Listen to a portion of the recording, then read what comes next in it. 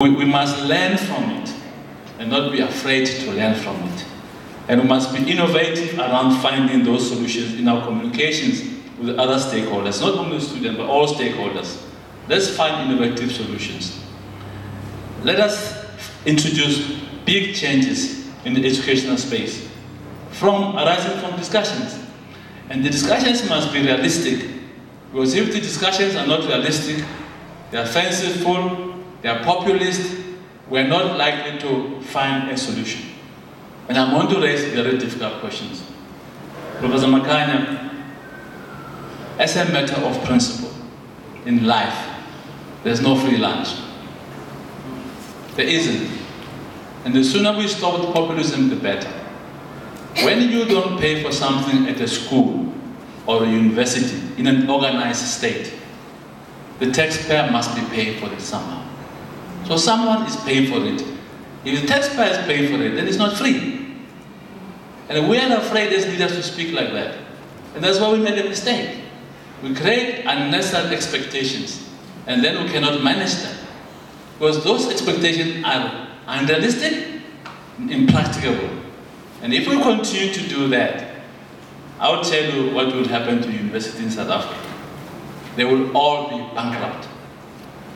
We know, we ran this university, we know how much we had in the bank. We know the attempt to say to us, take more students, and we resisted it because we could not carry the load. We have to measure that against our budget and said we cannot carry the loads. And if you want to prescribe to university, increase by 5%, you need to have an ecosystem in place. Take each thing into account before you prescribe those things and crash down universities and get them bankrupt.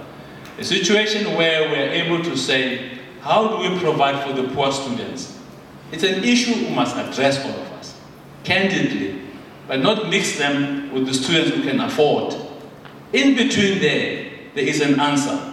There's a realistic answer. If you are able to pay for your fees, pay for your fees.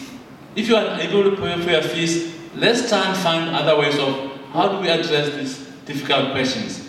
The role of the state in terms of this issue cannot be that if I give you money, you must surrender your independence as a university.